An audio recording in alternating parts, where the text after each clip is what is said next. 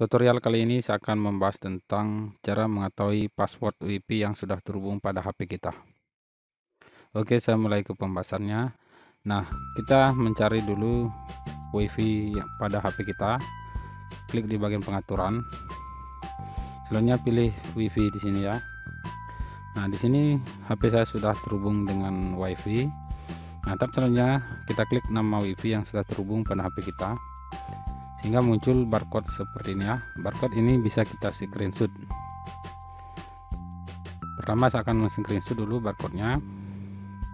Pilih di bagian S capture ya. Seperti ini lalu kita tangkapan layar persegi panjang. Kita klik.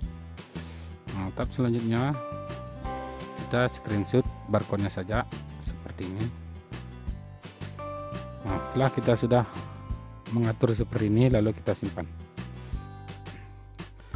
Nah di sini barcode nya sudah berhasil kita screenshot.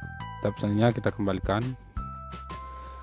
Selanjutnya kita akan membuka aplikasi yang namanya WRN barcode ya ini. Nah jika belum menginstal silahkan install di playstore ya. Sini saya sudah membuka WRN barcode. Nah tahap selanjutnya setelah tampilan seperti ini klik di bagian ini ya ini. Lalu kita pilih di bagian album. Nah selanjutnya kita cari foto atau barcode yang sudah kita screenshot seperti ini. Lalu kita pilih. Nah setelah kita memasukkan dalam aplikasi QRN barcode seperti ini sehingga otomatis terbaca barcode ini ya.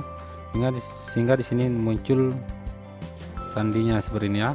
Seperti ini bisa dilihat. Jadi kita bisa masukkan pada HP yang lainnya Oke semoga dapat bermanfaat. Jangan lupa subscribe. Terima kasih